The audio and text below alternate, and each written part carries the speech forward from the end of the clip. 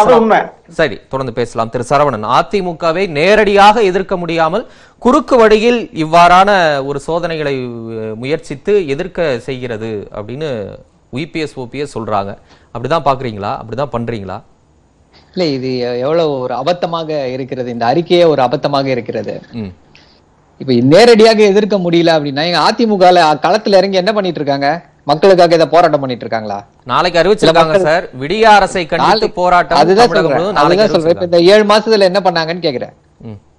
இப்ப ஏதோ விழித்து கொண்டு ஏதோ போராட்டம் அறிவிச்சு டெய்லி மக்களுக்காக சேவை செய்து கொண்டிருக்கிறார்களா? மழை பெய்தது. மழையில எத்தனை பேருக்கு என்ன நிவாரணம் கொடுத்தாங்க?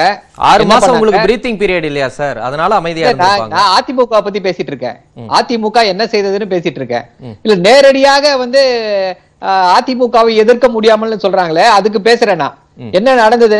மழை வெள்ளம் பெய்த பொழுது என்ன நடந்தது? தமிழ்நாட்டுடைய முதல்வர் அங்கே வந்து எல்லா மழை பெய்து பாதிக்கப்பட்ட இடங்களை எல்லா இடத்துக்கும் போன பிறகு மூணு நாள் கழிச்சு அவர் முதல்வர் இப்படி செயல்படுகிறாரு. நம்ம போலனா அது குற்றமாயிடுமேன்னு சொல்லிட்டு அதுக்கப்புறம் சும்மா ஒரு டிராமாவுக்காக ஒரு நாலு இடத்துல போயிட்டு வந்த விஷயங்களை பார்த்தோம்.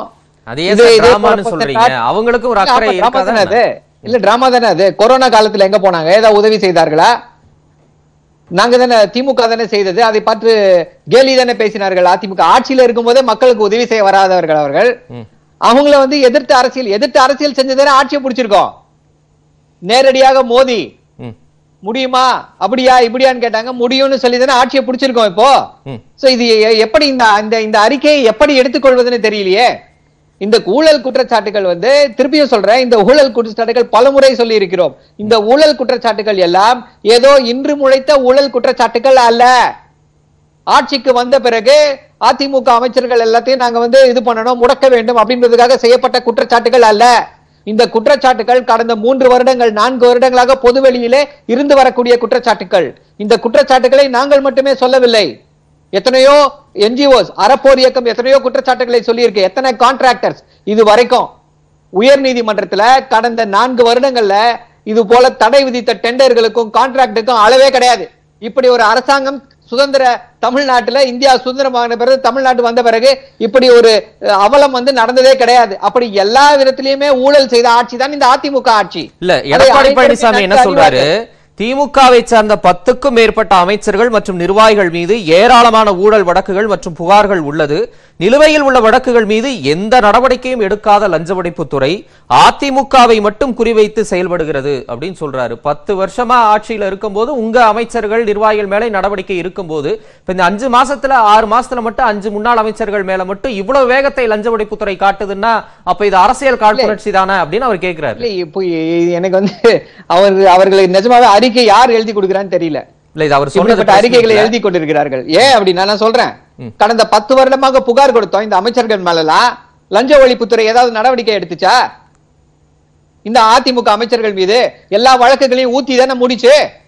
நீதிமன்றத்தை நோக்கி தானே சென்றோம் நாங்கள்? சோ என்ன பிரச்சனை வருது இதுல? அதிமுக அந்த ஊழல் ஒழிப்புத்துறை யாருடைய தலைமையில கீழ் செயல்பட்டு கொண்டு வந்தது? முதல்வருடைய முன்னாள் முதல்வர் அப்ப இருந்தாரு திரு எடப்பாடி எடப்பாடி பழனிசாமி அவருடைய தலைமையில வந்து அது செயல்பட்டு வந்தது. குற்றச்சாட்டுகள் வந்து அமைச்சர்கள் மேலையும் அவர் மேலேயும் சொல்லும் பொழுது அந்த லஞ்ச ஒழிப்புத்துறை வந்து சரியான முறையில் விசாரித்ததா? ஏதாவது ஒரு புகார் சரியான முறையில் விசாரித்ததா? உயர் நீதிமன்றம் வந்து வழக்கு பதிவு செய்யுங்கள்னு எத்தனை இதுல சொல்லியிருக்கு? எத்தனை லஞ்ச ஒழிப்பு புகார்ல? சிபிஐ விசாரணைக்கு உத்தரவிட்டிருக்கிறது. முன்னாள் முதல்வர் மீது. என்ன காரணம்? உயர் நீதிமன்றமே வந்து இதுல முகாந்திரம் இருக்கிறது. சிபிஐ விசாரணை வேண்டும். நெடுஞ்சாலைத்துறையில கொடுத்திருக்கக்கூடிய அந்த கான்ட்ராக்ட்ஸுக்குன்னு சொல்லி உயர் நீதிமன்றம் சொல்லி இருக்கிறது இப்படியெல்லாம் நடந்துட்டு இது எல்லாம் ஏதோ நடக்காத மாதிரி ஏதோ அதிமுக வந்து அப்படியே தூய்மையின் பிம்பம் போல இவர்கள் பேசிக் கொண்டிருப்பதை பார்த்து மக்கள் எப்படி சிரிப்பார்கள் என்று தெரியவில்லை. சரி இத கடந்து இன்னைக்கு அறிக்கையில அவங்க சொல்றாங்கல்ல நீங்க அரசியல் காழ்ப்புணர்ச்சினா கூட அதற்கான முகாந்திரம் இருக்கு நியாயம் இருக்கு காரணம் இருக்குன்னு சொல்றீங்க. ஆனா இன்னைக்கு விலைவாசி உயர்வால மக்கள் கடுமையா பாதிக்கப்பட்டிருக்காங்க. பெட்ரோல் டீசல் விலை உயர்வு மளிகை பொருட்கள் விலை உயர்வு கட்டுமான பொருட்கள் விலை உயர்வு காய்கறிகள் விலை உயர்வு மீன் விலை உயர்வு கனிகள் விலை உயர்வு எல்லாமே மிக உயர்ந்த ஒரு உச்சத்துல இருக்கக்கூடிய நிலையில இப்படி பழிவாங்கும் உணர்வோட நீங்க நடவடிக்கை எடுக்கிறீங்க. இந்த விலைவாசி உயர்வு மேல ஏன் உங்களுக்கு கவனம் இல்லை? அப்படின்னு கேட்கிறாங்க இல்ல அதாவது லஞ்ச ஒழிப்புத்துறை தான் வந்து இந்த விலைவாசி கட்டுப்படுத்தத வந்து கவனம் செலுத்தக்கூடிய துறையா? இல்ல, ஒரு நிமிஷம் ஒரு நிமிஷம் நான் முடிச்சிடுறேன் ஒரு முடிச்சிடுறேன் நான் முடிச்சிடுறேன். லஞ்ச ஒழிப்புத்துறை வந்து வழக்குகள் போடல அப்படின்னா விலைவாசி எல்லாம் குறைந்து விடுமா? இல்ல விலைவாசி ஏறாமல் போய்விடுமா இல்ல என்ன வகையான வாதம் இது அப்படின்னு சொல்லி கேக்குறேன். லஞ்ச ஒழிப்புத்துறை அது ஒரு தனித்துறை அதுக்கு ஒரு தலைவர் இருக்காரு. நாட்டுல என்ன நடந்தாலும் அந்த துறை எல்லா அரசு துறைகளும் அப்படிப்பட்ட துறைகள் தான். எல்லாமே வந்து தனித்துவமாக ஒன்றுக்கொன்று பிரச்சனை ஏற்படாமல் அவர்கள் இயங்கிக் கொண்டேதான் இருப்பார்கள். நாட்டில் வந்து வெள்ளம் வந்துச்சுன்னா ஊழல் செய்து விட்டு அப்படியே தப்பிச்சு போயிடலாமா? ஊழல் செய்தால் நாட்டில் வெள்ளம் வந்துச்சு பூகம்பம் வந்தது அப்படின்னா நாட்டில் வந்து யார் மேலும் விசாரணை நடத்தக்கூடாதா? இல்லை எப்படி வகை எந்த வகையான ஒப்பீடுகள் இவை? இந்த ஒப்பீடுகள் வந்து மக்கள் தமிழ்நாட்டு மக்கள் கிட்ட இப்படிப்பட்ட ஒப்பீடுகள் வந்து எடுபடுமா முதல்ல?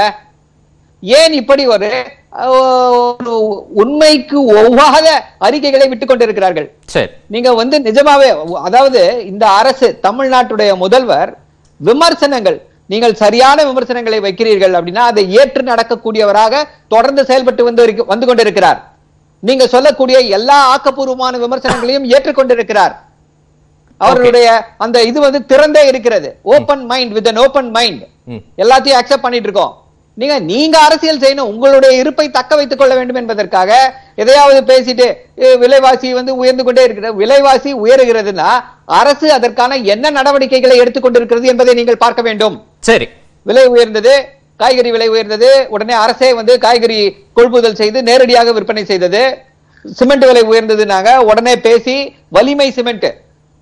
வெளியில வந்திருக்கு இப்படி மக்களுக்காக எல்லாவற்றையுமே தொடர்ந்து இந்த அரசு செய்து கொண்டு வருகிறது. ஒப்பீடே தவறுன்னு சொல்றீங்க. சரி தொடர்ந்து பேசலாம். கண்டிப்பாக கண்டிப்பாக. சரி திரு முரளி அப்பாஸ் இப்ப லஞ்ச ஒழிப்பு சோதனைகள் நீதியை